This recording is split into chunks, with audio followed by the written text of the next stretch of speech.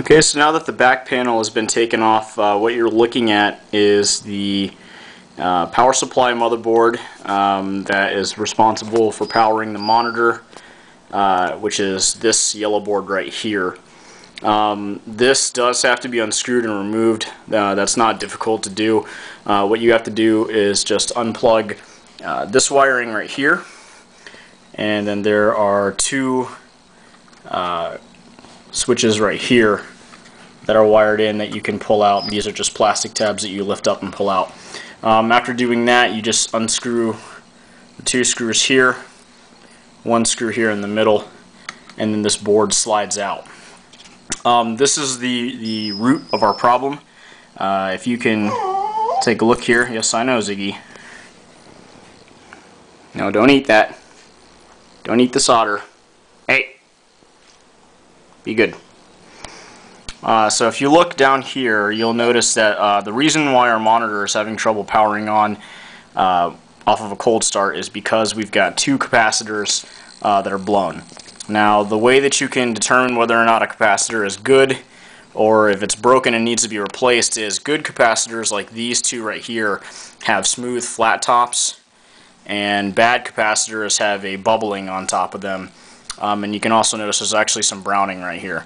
So what we have to do is get some replacement capacitors. Uh, obviously remove these two old capacitors from the power supply and then uh, put new capacitors in to replace them. That should fix the problem.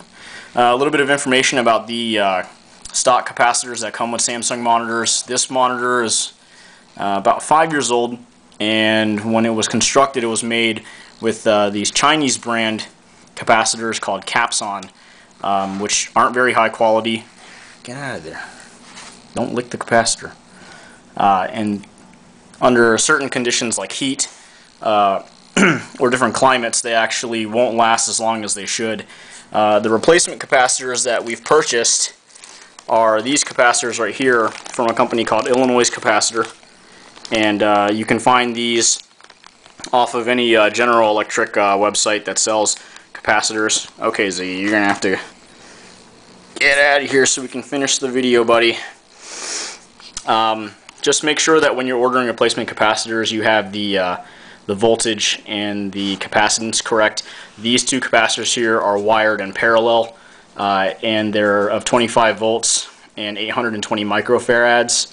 Uh, these other capacitors here um, I actually don't know the values of because it doesn't look like we have to replace them, but any capacitor will say what the voltage and capacitance is on the side, and that'll allow you to to search the internet or, or an online catalog to figure out what uh, specifically you need. Um, I have seen videos on YouTube where people will get uh, general stock capacitors from a place like Radio Shack um, that don't necessarily fit the, uh, the perfect capacitance and the voltage that are specifically made for the motherboard. I don't like doing that. Um, but there are examples of uh, folks with monitors similar to mine where they've used, um, you know, for example, a uh, capacitor that's 1,000 microfarads instead of 820.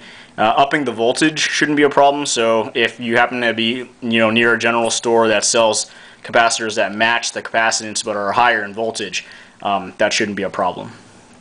So uh, what I'm going to do is disassemble this board, uh, remove it from the panel, and uh, using a soldering iron and a uh, 3 millimeter in diameter rosin solder, uh, we're going to remove the, the old caps and put the new uh, fresh caps on, and then we'll power the monitor on and see if that fixes the problem.